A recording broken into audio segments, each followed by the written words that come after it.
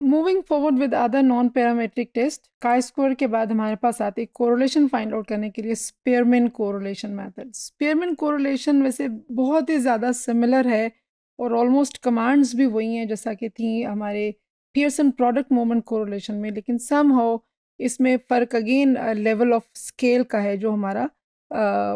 Pearson uh, के अंदर हमारा क्वांटिटेटिव स्केल होता है रनिंग स्कोर होता है लेकिन हमारा स्पेयरमैन uh, के अंदर जो स्केल है वो ऑर्डिनल स्केल होता है, यानी हमारा डेटा रैंक ऑर्डर्स में होता है। सो देर आर कंडीशन जैसा फ़र्ज़ करें कि क्लास के अंदर मेरे लिए ईजियर है कि मैं स्टूडेंट्स को बजाय कंटिन्यूस स्कोर देने के I can rank them in terms of intelligence या इन टर्म्स ऑफ़ लीडरशिप या इन टर्म्स ऑफ़ के टॉप टेन स्टूडेंट्स क्लास के कौन से हैं ना? तो it is sometimes easier for the researcher कि उसके पास ऑर्डिनल डेटा है और उस ऑर्डिनल रैंक डेटा के साथ हम किस तरह से कोरिलेशन फाइंड आउट कर सकते हैं? So Spearman correlation is use to measure the relationship between X and Y when both variables are measured on the ordinal scale यानी अगर हमने लीडरशिप uh, का और uh, फ़र्ज़ करें अचीवमेंट का रिलेशनशिप फाइंड आउट करना है तो मेरे पास दोनों के दोनों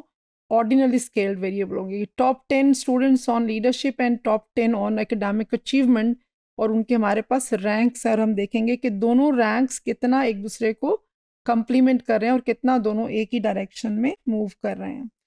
It is also use when the researcher wants to make the consistency of the relationship between X and Y of course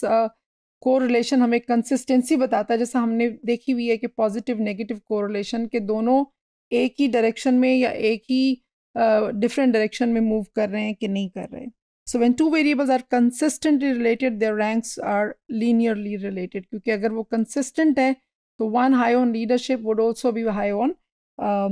academic achievement purse है so P S N R and Spearman are very similar they are both correlation coefficient P S N R is use when data meet assumption for the parametric जबकि Spearman correlation जब हमारी parametric की जम्पन्स fulfil नहीं होती। Uh, spearman, one or more variables are rating given by participants, example, attractiveness of the person, or they have to put pictures in the rank order of preference. So so, हमने of course पहले ही बात कर ली कि हमारा data जब rank order में होगा तो हमारे पास जो कोरिलेशन के लिए चॉइस बनती है that is Spearman when we have small participant दूसरी ऑप्शन जब हमारे पास सैंपल साइज़ कम हो and are uncertain to whether we meet the assumption of the Pearson R तब भी हमारे लिए स्पेयरमैन आर जो है वो बेहतर चॉइस होती है।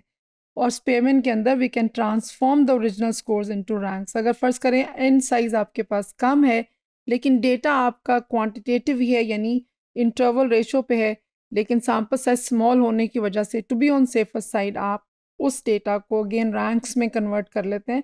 और फिर उसके ऊपर आप स्पेयरमैन लगा सकते हैं। The test is less sensitive to the bias सबसे अच्छी जो बात है स्पेयरमैन कोरिलेशन की केस में जो हमारी आउटलायर्स uh, होते हैं उसको हम बड़ी अच्छी तरह से कवर कर सकते हैं। क्योंकि फ़र्स्ट करें क्लास uh, के अंदर एक बच्चा जिसके सौ नंबर हैं और बाकी सारे के नंबर जो हैं वो नीचे हैं। यानी कि एक आध आउटलायर वैल्यू है लेकिन बाकी सारे स्कोर uh, जो हैं थर्टी फोर्टी थर्टी फोर्टी इस तरह से आ रहे हैं। हमें पता है कि पैरामेट्रिक के अंदर भी हमने पढ़ा है कि mean is affected by the extreme scores, लेकिन स्पेयरमैन के अंदर चूँकि हम उनको रैंक कर देते हैं, सो चाहे उसके सौ नंबर हैं या उसके चालीस नंबर हैं he will be on number one so we will be one two three उनके रैंक ऑर्डर कर लेते हैं। So one advantage of using